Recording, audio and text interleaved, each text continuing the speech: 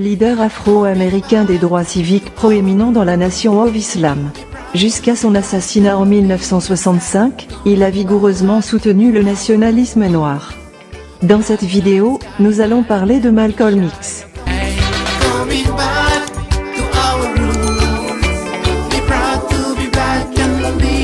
Merci de nous retrouver sur Sous nos routes, la chaîne de nos racines. N'oubliez pas de vous abonner car on vous donnera sur cette chaîne plusieurs informations très utiles, à travers des faits historiques, d'actualité, mais aussi des tops innovants sur des faits très intéressants et d'utilité générale. Qui était Malcolm X? Malcolm X était un ministre, un militant des droits de l'homme et un éminent leader nationaliste noir qui a servi de porte-parole de la nation of Islam dans les années 1950 et 1960. Grâce en grande partie à ses efforts, la nation of Islam est passée de 400 membres au moment de sa libération de prison en 1952 à 40 000 membres en 1960. Orateur naturellement doué, Malcolm X a exhorté les Noirs à se débarrasser des chaînes du racisme par tous les moyens nécessaires, y compris la violence. Le fougueux défenseur des droits civiques a rompu avec la nation of Islam peu de temps avant son assassinat en 1965 au haut du Bon Ballroom à Manhattan, où il s'apprêtait à prononcer un discours. Jeunesse et famille. Malcolm X est né le 19 mai 1925 à Omaha, Nebraska. Il était le quatrième des huit enfants nés de Louise, une femme au foyer, et d'Earl Little, un prédicateur qui était également un membre actif de la section locale de l'Universal Negro Improvement Association et un ardent partisan du leader nationaliste noir Marcus Garvey. En raison de l'activisme d'Earl Little pour les droits civiques, la famille a été soumise à de fréquents harcèlements de la part de groupes suprémacistes blancs, notamment le Ku Klux Klan et l'une de ses factions dissidentes, la Black Legion. En fait, Malcolm Little a eu sa première rencontre avec le racisme avant même sa naissance. Quand ma mère était enceinte de moi, elle m'a dit plus tard, un groupe de cavaliers à capuche Ku Klux Klan a galopé jusqu'à notre maison, se souvient plus tard Malcolm. Brandissant leur fusil de chasse, ils ont crié pour que mon père sorte.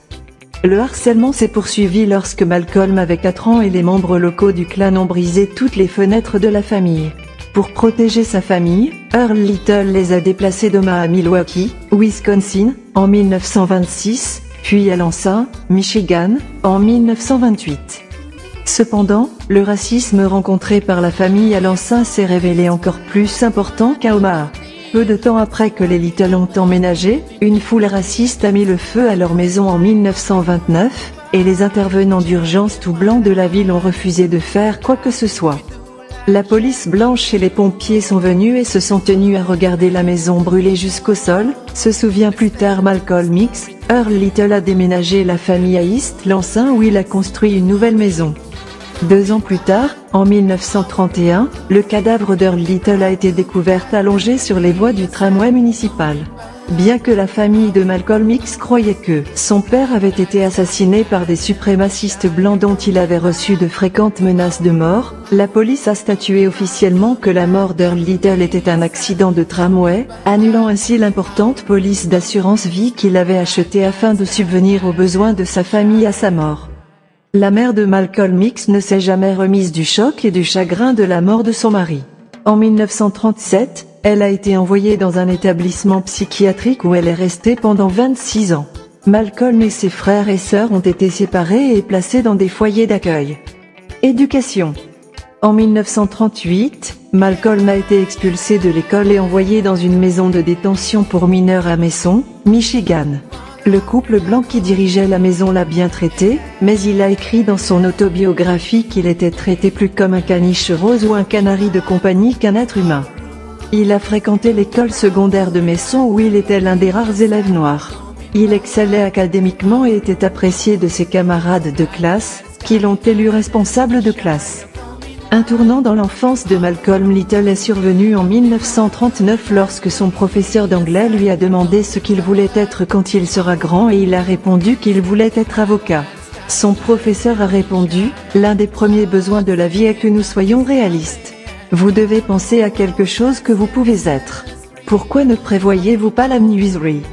Ayant ainsi été informé sans équivoque qu'il était inutile qu'un enfant noir poursuive ses études, Malcolm X a abandonné l'école l'année suivante, à l'âge de 15 ans. Après avoir quitté l'école, Malcolm X a déménagé à Boston pour vivre avec sa demi-sœur aînée, Ella, dont il se souviendra plus tard, elle était la première femme noire vraiment fière que j'ai jamais vue de ma vie. Elle était clairement fière d'elle d'avoir une peau foncée. C'était inédit chez les Noirs à cette époque. Ella a décroché un travail de cirage de chaussures à Malcolm au Roseland. Cependant, seul dans les rues de Boston, Malcolm X s'est familiarisé avec le métro criminel de la ville et s'est rapidement tourné vers la vente de drogue. Il a obtenu un autre emploi comme aide de cuisine dans le train Yankee clippé entre New York et Boston et il a sombré plus loin dans une vie entre la drogue et la criminalité.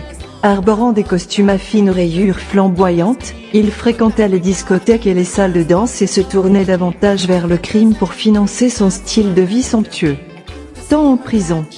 En 1946, Malcolm X a été arrêté pour vol et condamné à 10 ans de prison. Pour passer le temps pendant son incarcération, il lisait constamment, dévorant des livres de la bibliothèque de la prison pour tenter de rattraper les années d'éducation qu'il avait manquées en abandonnant le lycée.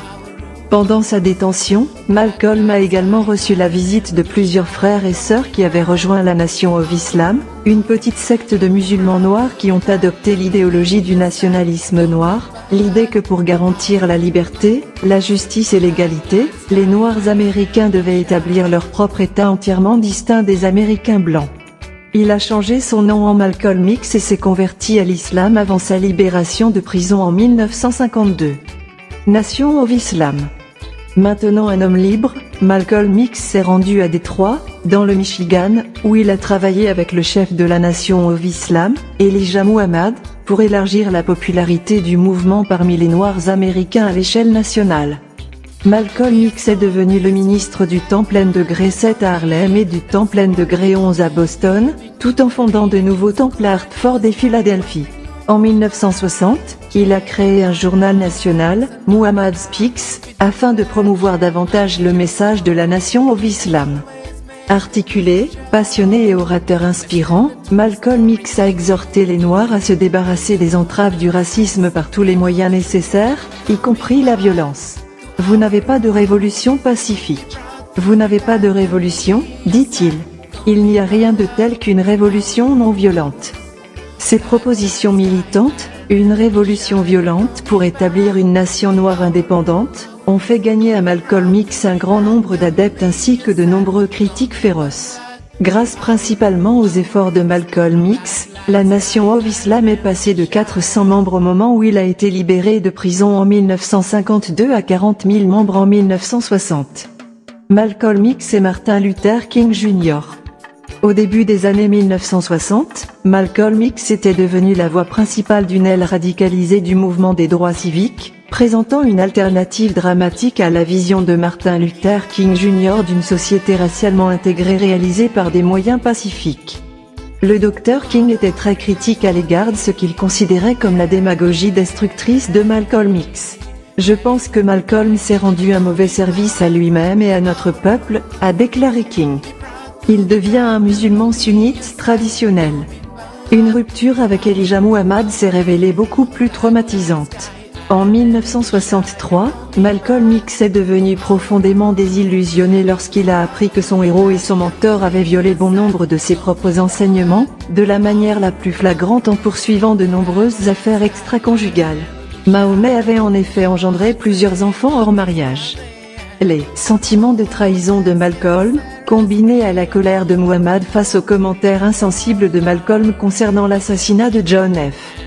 Kennedy, ont conduit Malcolm X à quitter la nation of Islam en 1964. La même année, Malcolm X entreprend un long voyage à travers l'Afrique du Nord et le Moyen-Orient. Le voyage s'est avéré être un tournant politique et spirituel dans sa vie. Il a appris à placer le mouvement américain des droits civiques dans le contexte d'une lutte mondiale anticoloniale, embrassant le socialisme et le panafricanisme. Malcolm X a également fait le Hajj, le pèlerinage musulman à la Mecque, en Arabie Saoudite, au cours duquel il s'est converti à l'islam sunnite et a de nouveau changé son nom, cette fois en El Hajj Malik el-Shabazz. Après son pèlerinage à la Mecque, Malcolm X est retourné aux États-Unis moins en colère et plus optimiste quant aux perspectives d'une résolution pacifique des problèmes raciaux de l'Amérique.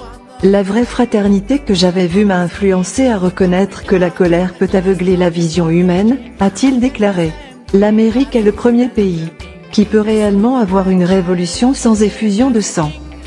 Assassinat. Tout comme Malcolm X semblait se lancer dans une transformation idéologique susceptible de modifier radicalement le cours du mouvement des droits civiques, il a été assassiné. Le 21 février 1965, Malcolm X est monté sur scène pour un discours à l'Audubon Ballroom à Manhattan. Il venait de commencer à s'adresser à la salle lorsque plusieurs hommes se sont précipités sur la scène et ont commencé à tirer avec des fusils. Touché de nombreuses fois à bout portant, Malcolm X a été déclaré mort après son arrivée dans un hôpital local.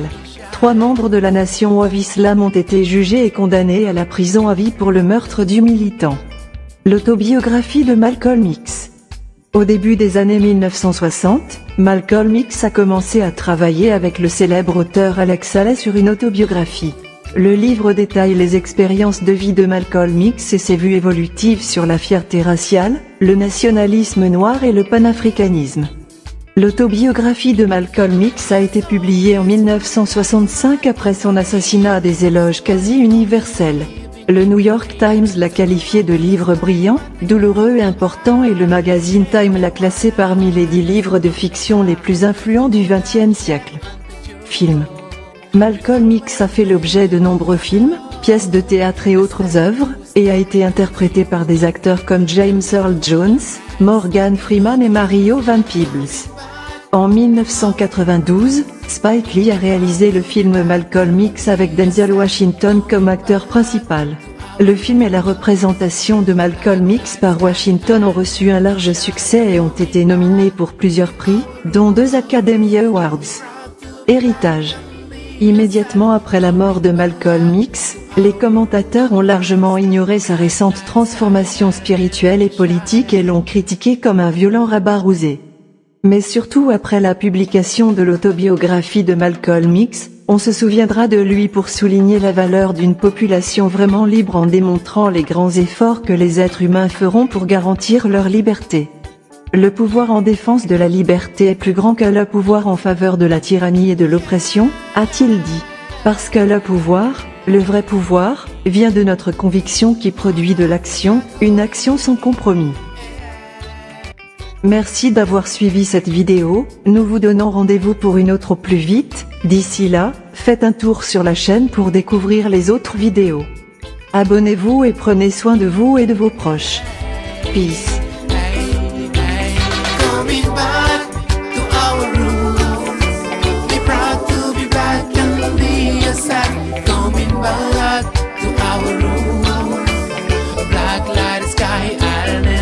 Shy of coming back